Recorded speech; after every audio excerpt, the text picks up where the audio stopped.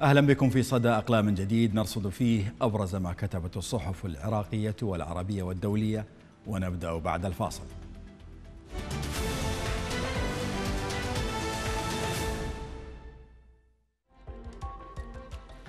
يقول الكاتب أنمار المجول إن الزراعة في العراق ضاعت بين وزارتي الخارجية والموارد المائية. فالسياسة هي فن الممكن وهو إيجاد الحلول للمشاكل مع دول مصادر المياه قبل حصول الأزمة المائية وليس عند وقوعها.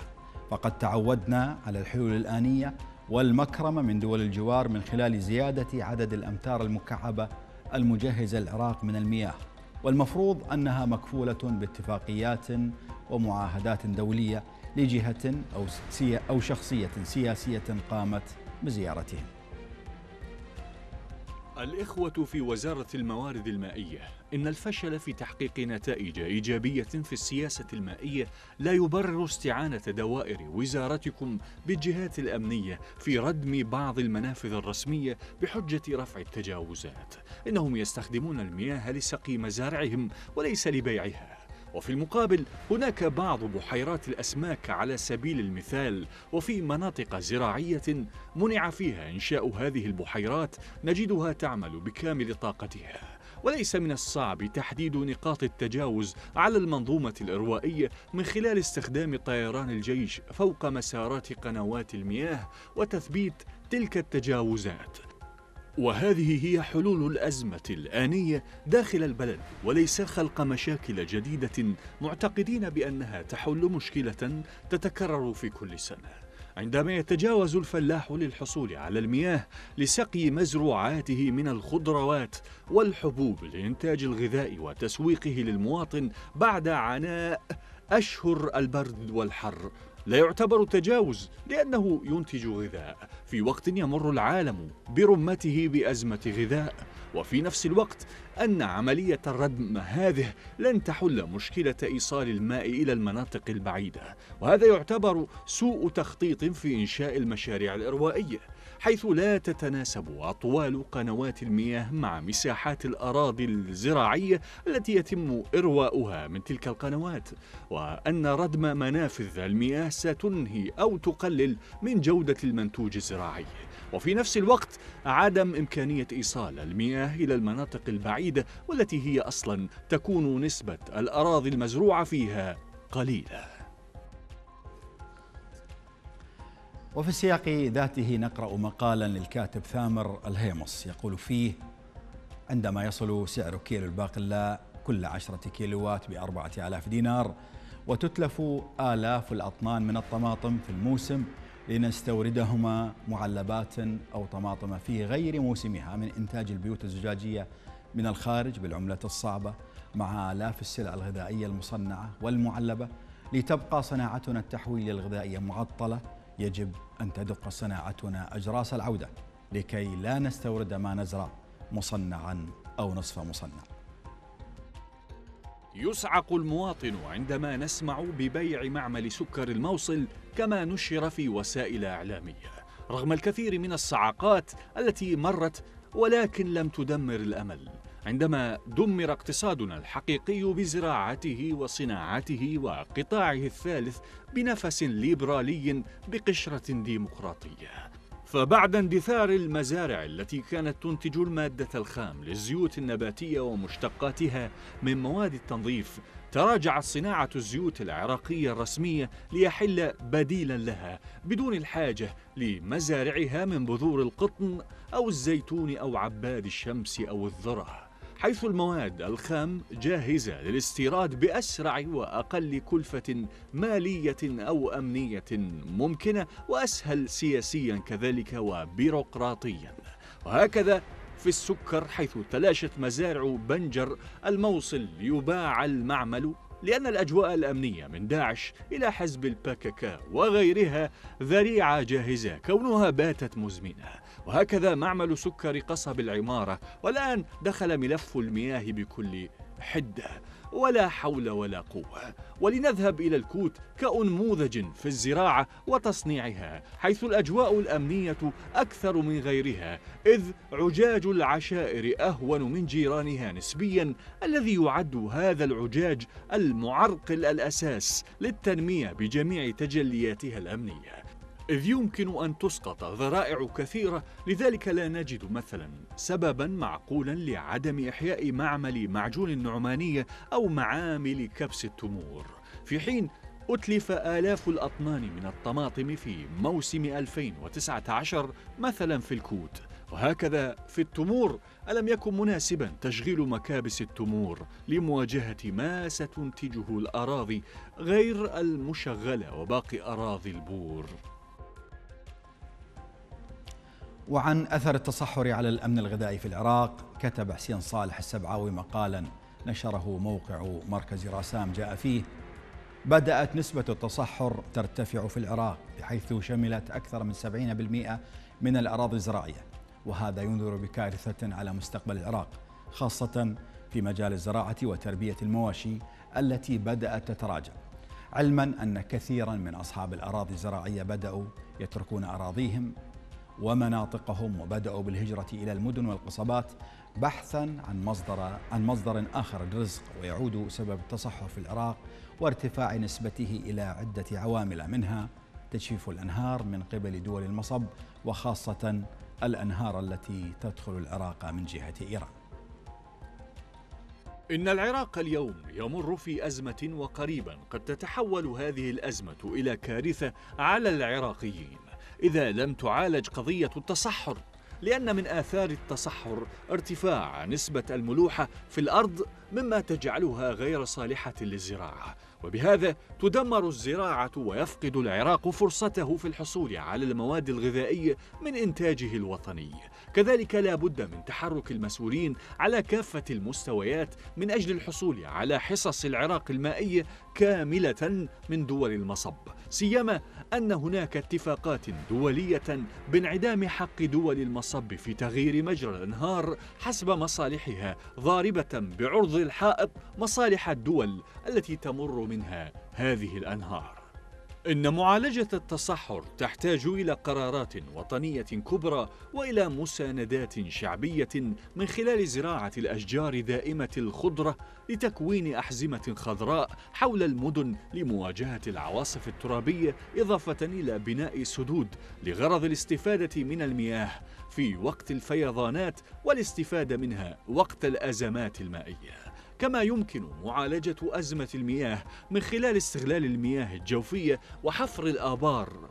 كما لا بد من وضع الخطط لترشيد استهلاك المياه بالتركيز على زراعة المحاصيل الأساسية التي يحتاجها الشعب مثل الحنطة والمحاصيل التي لا تحتاج إلى كميات كثيرة من المياه كما أنه لا بد للحكومة العراقية بين مزدوجين أن تتحرك دوليا ضد إيران وما تقوم به من حرمان العراق من حصصه المائية. ومن صحيفة القدس العربي نقرأ مقالا للكاتبة هيفاء زنقنة جاء فيه من بين الأسئلة التي نواجهها ونحن نعيش حقبة تزوير وتضليل سياسي وإعلامي مذهل فضلا عن ازدواجية المعايير بعد جريمة اغتيال الصحفية الفلسطينية الشهيدة شيرين أبو عاقلة تحت أنظار العالم مع استمرارية حرب أريد لها أن تكون عالمية هو كيف تتم عملية تقدير الأحداث المعاصرة؟ لتصبح الخلاصة ملائمة للمنتصرين أو أصحاب القوة وكيف تدرس على هذا الأساس؟ وإن كان من عايشها من أفراد وحتى شعوب لا يزالوا على قيد الحياة. في عديد الكتابات والنقاشات والآراء المتبادلة اليوم في حلقات المثقفين العرب خاصة العراقيين والفلسطينيين يحضر التاريخ بقوة تنافس الحاضر. بمستوياته من التاريخ الشخصي والعام وعلى اختلاف مستوياته المتعددة من كتابة المذكرات إلى البحوث والدراسات لتنشر أما بشكل كتب أو على صفحات التواصل الاجتماعي. الحاضر في معظم الحالات تائه بين محاولات فهم التاريخ والأدلجة وإثبات الهوية وتجزئة القضايا. مما ينعكس بقوة على توثيق الحقيقة وجهود إثبات المصداقية. فلسطينيا يعتبر التوثيق الآني الفردي والعام والتاريخي المتضمن أيضا كتابة اليوميات والمذكرات وتسجيل الشهادات المحكية أداة مقاومة للسردية الصهيونية المختلقة ولعل آخرها المختلق الصهيوني لتغطية جريمة اغتيال شيرين. لذلك نجد اهتماما جديا يتنامى بشكل متزايد خاصة في المجالات الأكاديمية بدراسة التاريخ وتوثيق كل ما يرتبط بفلسطين. بشكل علمي يتوخى المحافظة على المصداقية بمواجهة الأسطورة والأكاذيب الصهيونية والتركيز على حفريات الذاكرة المصطنعة. ويمتد الاهتمام ليشمل كيفية دراسة وتدريس التاريخ وهي حقول معرفية تغتني كثيرا بالبحث والتحليل والمقارنة والربط الموضوعي بين الأحداث. عراقيا لدينا فقر حقيقي في مجال كتابة التاريخ ينعكس في البحوث والدراسات الأكاديمية كما نراها بأوضح صورها في الكتابات المنشورة كأوراق بحثية أو المتداولة في مواقع التواصل الاجتماعي وهي تحمل توقيع مؤرخ بين مزدوجين أو مفكر بين مزدوجين كيف ستنتهي الحرب الباردة الجديدة مع روسيا؟ سؤال طرحه البروفيسور بول بيلار الذي عمل في المخابرات الأمريكية لمدة 28 عاما وعمل في ملفات لتحليل المعلومات الأمنية من الخليج وجنوب آسيا وعمل أيضا في المجلس الوطني للاستخبارات ويرى بيلار بمقاله بمجلة ناشونال انترست أن حربا باردة جديدة مع روسيا لا تنذر بخير ولن تنتهي. هذا إن انتهت بلحظة انتصار وهيمنة قطب واحد على العالم وقال إن الرد الغربي الذي قادته الولايات المتحدة ضد العدوان الروسي على أوكرانيا كان مثيرا للدهشة وأبعد من توقعات الرئيس الروسي فلاديمير بوتين. ولكن المشكلة في هذا الرد أنه تطور إلى أبعد من المواجهة العسكرية المباشرة في أوكرانيا إلى نزاع طويل وواسع مع روسيا. وبدأ هذا التوسع واضحا من الهدف الأمريكي المعلن وأنه لم يعد متعلقا بوقف العدوان ضد أوكرانيا بل وإضعاف روسيا. ويرى بيلر أن تحديد هدف أمريكا وحلفائها بإضعاف روسيا يطرح مشكلتين. واحدة أنه يؤكد دعاية بوتين التي تؤكد أن الغرب لا يدعم أوكرانيا فقط بل ويهدد روسيا. أما المشكلة الثانية فالإعلان يعقد من أي تسوية ويخفض ثقة موسكو بأنها لن تحصل على أي مخرج ذي معنى من العقوبات الغربية والنبذ مهما فعلت في أوكرانيا. وبالمحصلة فما تقوم به الولايات المتحدة هو الإعلان عن حرب باردة جديدة مع روسيا. ويؤكد الكاتب أن حديثه عن هذا لا يعني أنه يقوم بتوزيع اللوم بين الغرب والشرق فبوتين يتحمل كل المسؤولية عن التحول السيء في الشؤون الدولية في عام 2022 تماما كما يتحمل جوزيف ستالين والاتحاد السوفيتي مسؤولية أعمال الأربعينات من القرن الماضي بما فيها إخضاع دول أوروبا الشرقية والحصار على برلين التي كانت سببا في الحرب الباردة السابقة. وفي حالة الفشل في تقديم صيغة ستؤدي إلى بداية حرب باردة جديدة إلى جانب إطالة أمد معاناة الشعب الأوكراني وستصبح الحرب الباردة الجديدة علامة للعلاقات الدولية ولسنوات قادمة وسينسحب هذا على أوكرانيا سواء استمر فيها القتال أو تحول النزاع إلى حرب مجمدة بدون أي فرصة لاستعادة المناطق التي سيطر عليها الروس. ولا أحد يعرف إن كانت دوائر المسؤولين فكرت بالحرب الباردة الجديدة وأين ستتجه وكيف ستتوقف. قالت صحيفة الفاينشال تايمز إن التجربة الروسية بأوكرانيا قد تردع الصين عن التفكير في التدخل العسكري في تايوان وتمنعها من خوض حرب قصيرة لتحقيق مجد عسكري. ونقلت عن المؤرخ آدم توز قوله باستثناء حروب التحرير الوطني أجد صعوبة بالغة في أن أذكر اسم حرب واحدة منذ عام 1914 أسفرت عن نتائج إيجابية لصالح الدولة التي تبدأ بالعدوان. إن الصين كانت هي الدولة الوحيدة التي تمكنت من مقاومة إغراء الحرب منذ غزوها فيتنام في عام 1979 فمنذ ذلك الحين تعلمت بكين الدرس جيدا وأدركت أنها لن تنتصر في مثل هذه الحرب. ولفتت إلى أن أغلب الدول الكبرى التي تمتلك أقوى جيوش في التاريخ المعاصر خسرت معاركها عندما حاولت غزو دول أصغر أو أضعف. وقالت إن الرئيس الروسي فلاديمير بوتين هو وحده الذي كان مخطئا في حساباته قبل شن هجومه على أوكرانيا. فقد كان هو وكبار مسؤولي إدارته وكبار القادة في الجيش الروسي ومعهم أجهزة مخابرات دول الغرب ومسؤولون في الإدارة الأمريكية ودول أوروبا. يتشاركون الاعتقاد نفسه بأن القوات الروسية بإمكانها أن تسحق أوكرانيا خلال عدة أيام وختمت بالقول لكن ذلك لم يحدث إذ تستمر الحرب في أوكرانيا للشهر الثالث على التوالي منذ أن بدأت روسيا باجتياح الحدود في الرابع والعشرين من شباط فبراير الماضي. ولم يتوقف القتال في تلك الدولة التي يمزقها الصراع حتى الآن ولا يعلم أحد متى ينتهي القتال هناك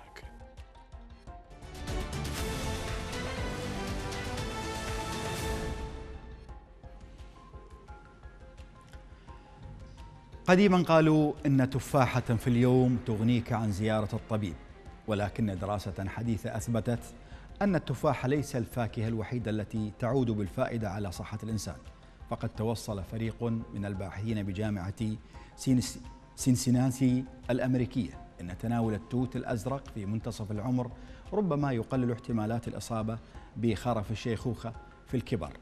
ونشرت ونشرت نتائج هذه الدراسة في الدورية العلمية Nutrients ويقول الباحث روبرت جروغوريان أنه أجرى الدراسة على فوائد التوت الأزرق بالنسبة للأشخاص الذين تتزايد لديهم احتمالات الإصابة بالإزهايمر وخرف الشيخوخة وذكر الفريق البحثي أن التوت الأزرق يحتوي على مواد كثيرة تكسبه لونه الشهير كما أنها تساعد على مقاومة المواد المشعة وأمراض النبات ومخاطر أخرى وتنطوي على فوائد مهمة للبشر مثل مقاومة الالتهابات وتحسين عملية الحرق وإنتاج الطاقة داخل الخلايا.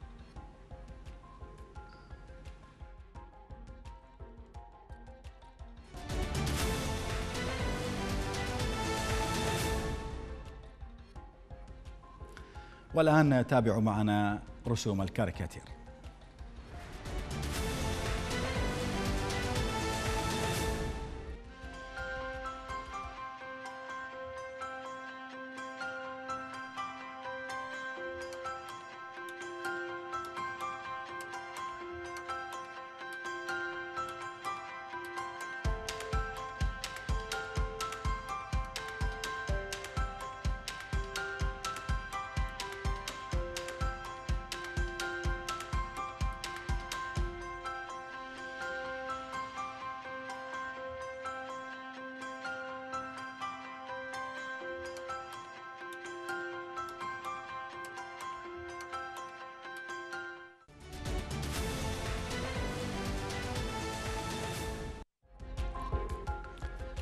في الختام أشكر لكم حسن المتابعة أستودعكم الله.